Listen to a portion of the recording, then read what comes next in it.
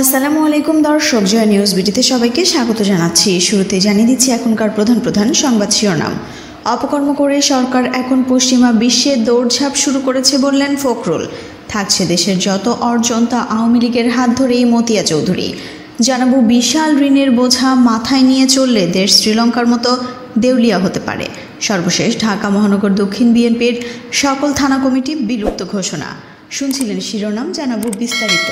এরকম নতুন নতুন খবরের আপডেট পেতে চ্যানেলটিকে সাবস্ক্রাইব করে রাখুন আর পাশে থাকা বেল বাটনটিকে ক্লিক করে দিন। বিএনপির মহাসচিব মির্জা ফখরুল ইসলাম আলমগীর বলেছেন, নির্বাচন এগিয়ে আসায় আওয়ামী লীগ এখন পশ্চিমা বিশ্বের দেশগুলোতে দৌড়ঝাঁপ শুরু করেছে। এছাড়া ক্ষমতায় টিকে থাকতে আওয়ামী লীগ সরকার বিদেশিদের কাছে ধর্ণা দিচ্ছে। বিশ্ব স্বাস্থ্য দিবস উপলক্ষে বিএনপির আয়োজিত এক আলোচনা সভায় এমন মন্তব্য করেছেন তিনি।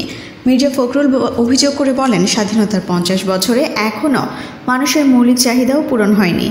সরকারের অপকর্ম প্রকাশ পাওয়ায় তারা এখন যুক্তরাষ্ট্রের কাছে দৌড়ঝাঁপ করছে।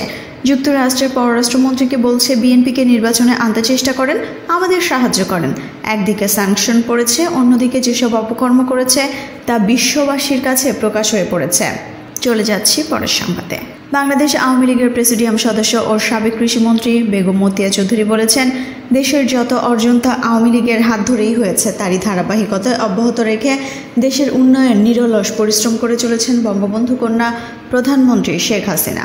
পবিত্র মাহের রমজান উপলক্ষে রাজধানীর পোস্তগোলা পারুমা মাঠে ঢাকা মহানগর দক্ষিণ আওয়ামী লীগের ত্রাণ ও সমাজ কল্যাণ সম্পাদক শেখ মোহাম্মদ আজহারের ব্যক্তিগত উদ্যোগে অসহায় দরিদ্র মানুষের মাঝে ইফতার সামগ্রী বিতরণ অনুষ্ঠানে প্রধান অতিথির বক্তব্যে তিনি এসব কথা বলেছেন। মতিয়া চৌধুরী বলেন, প্রধানমন্ত্রী শেখ হাসিনার নেতৃত্বে বাংলাদেশের মানুষের মৌলিক অধিকার প্রতিষ্ঠিত হয়েছে। শেখ হাসিনার নেতৃত্বে দেশ এগিয়ে যাচ্ছে, এগিয়ে যাবে। তিনি বলেন, দেশের সার্বিক উন্নয়নমূলক কর্মকাণ্ডের মধ্য দিয়ে আজকে বিশ্বনেত্রী হিসেবে পরিচিতি পেয়েছেন শেখ হাসিনা। বিশ্ব দরবারে বাংলাদেশকে সম্মানজনক একটি পর্যায়ে নিয়ে এসেছেন। তার কোনো বিকল্প তিনি নিজেই। বিশেষ অতিথির বক্তব্যে বাংলাদেশ আওয়ামী লীগের ত্রাণ ও সমাজ কল্যাণ সম্পাদক বাবু সুজিত রায় নন্দী বলেন, বঙ্গবন্ধু মহান মুক্তিযুদ্ধ এবং স্বাধীনতা একই সূত্রে গাথা বঙ্গবন্ধু শেখ মুজিবুর রহমানের স্বপ্নের সোনার বাংলা গড়তে তরুণ প্রজন্মকে জাতির পিতার আদর্শ ধারণ করতে হবে। তিনি বলেন, অসহায় ক্ষতিগ্রস্ত মানুষের পাশে দাঁড়ানোই হচ্ছে আওয়ামী লীগের ঐতিহ্য। বাংলাদেশ আওয়ামী লীগ সবসময় জনগণের পাশে ছিল, আছে এবং আগামী দিনেও থাকবে।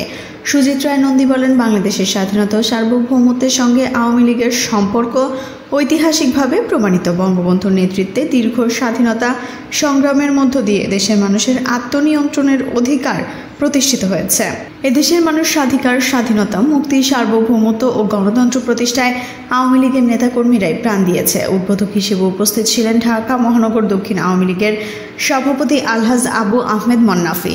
অনুষ্ঠানে সভাপতিত্ব করেন ঢাকা মহানগর দক্ষিণ আওয়ামী লীগের ত্রাণ ও সমাজ কল্যাণ সম্পাদক শেখ মোহাম্মদ আজহার। এই সময় বিশেষ অতিথি হিসেবে আরও উপস্থিত ছিলেন ঢাকা মহানগর দক্ষিণ আওয়ামী লীগের সহ সভাপতি ডাক্তার দিলীপ কুমার রায় যুগ্ম সাধারণ সম্পাদক অ্যাডভোকেট মোরশেদ কামাল, মোহাম্মদ মিরাজ হোসেন, ঢাকা মহানগর দক্ষিণ আওয়ামী লীগের সদস্য সিরাজুম মনির টিপো, শ্যামপুর থানা আওয়ামী লীগের সভাপতি বীর মুক্তিযোদ্ধা আলহাজ তোফাজ্জল হোসেন, শ্যামপুর থানার সাধারণ সম্পাদক কাজী হাবিবুর রহমান হাবুসহ প্রমুখ। চলে যাচ্ছি পরের সংবাদে। জাতীয় পার্টির চেয়ারম্যান জি এম কাদের বলেছেন, সারা বিশ্বই এখন একটি ক্রান্তিকাল অতিক্রম করছে। কিছুদিন আগে হঠাৎ করে দেখা গেল শ্রীলঙ্কার মতো একটি দেশ, যাদের শিক্ষিতের হার পঁচানব্বই শতাংশ, যারা অনেক আগে মধ্যমায়ের দেশ হয়েছে, তাদের রিজার্ভ প্রচুর ছিল। লোক সংখ্যা অনেক কম, মাত্র দুই কোটি।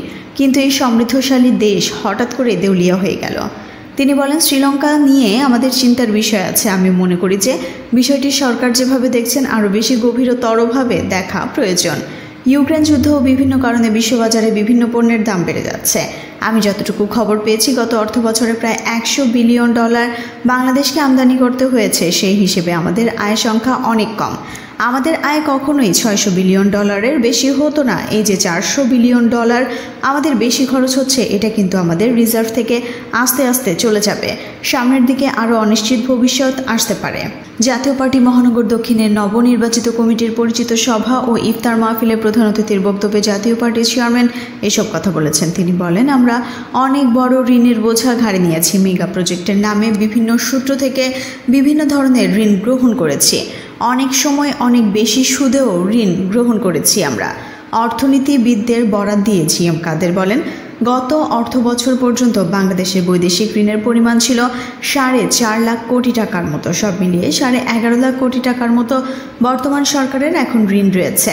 এই বছরও দেশি বিদেশি এক লাখ কোটি টাকা ঋণ নেওয়ার জন্য একটা প্রাক্কলন করা হয়েছে। এই ঋণের বোঝা ঘাড়ে নিয়ে আমরা যদি সামনের দিকে অগ্রসর হতে থাকি এবং এর খরচগুলো যখন আমাদের করতে হবে, তখন বাংলাদেশের দেউলিয়া হতে খুব একটা বেশি সময় লাগবে না। মেগা প্রজেক্ট করে লাখ লাখ কোটি টাকা ঋণ করে সেই ঋণের টাকা দিয়ে পোলাও খাওয়া দরকার ছিল না। আমাদের দরকার নিজের পায়ে দাঁড়ানোর যাতে আমরা সঠিকভাবে চলতে পারি। মেগা প্রকল্প প্রসঙ্গে তিনি আরও বলেন, একসাথে পাঁচটা, দশটা প্রকল্প হাতে নেওয়ার দরকার ছিল না। আমরা আস্তে আস্তে একটা একটা করে করতে পারতাম, যাতে করে আমরা সহনীয় অবস্থায় থাকতে পারতাম।